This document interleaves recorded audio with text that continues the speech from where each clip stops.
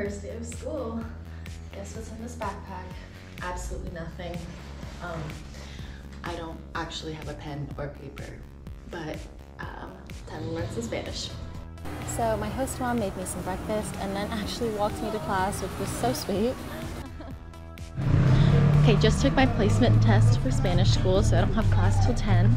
Um, somehow I didn't place into like the beginner Spanish, and I do not know how because like yes I've had Duolingo Premium but this morning a girl said como se llama like what's your name? I said bien. Like I think that's that qualifies for beginner level Spanish but um, I think I might have been too good of a test taker because I was taking like answers from like the other parts of the test and like putting them in and like conjugating them earlier. So we'll see how this goes. Um, but right now I'm off to go find a place where I can get like I don't know maybe scuba lessons um, trying to get certified out here and then also a surf instructor that I vibe with for the next few weeks. Overall thoughts I have at the moment. Um, beautiful, but I am lightly going through it. Um, for starters, last night I think there was just a little family of mosquitoes in my mosquito net with me.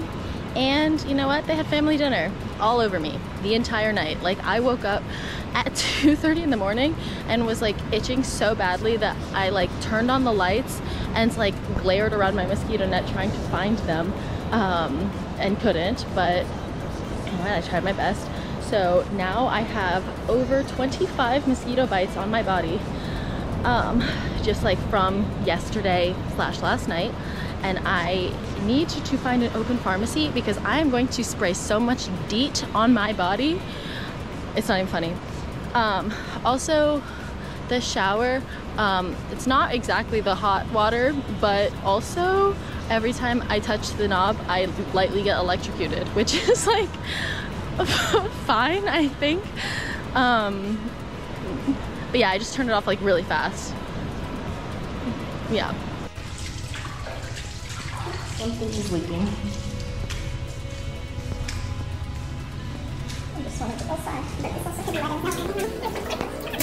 All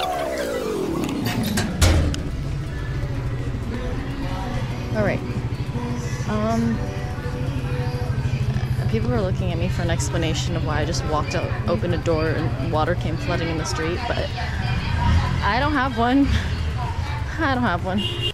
Yay, lunchtime. Um, visited the juice man and then had some shrimp and fish ceviche in between classes I did a surf lesson and then I also did a salsa lesson um, both of which were really fun but unfortunately I did the salsa lesson barefoot and then I was spinning around so much that I now have blisters on the bottom of my feet so I had to pop those and now it kind of hurts to walk.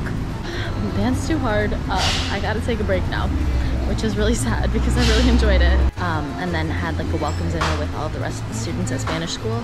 Um, a lot of Germans at one point. Like there was this guy who was Swiss and his English was like not good and my Spanish is obviously level zero.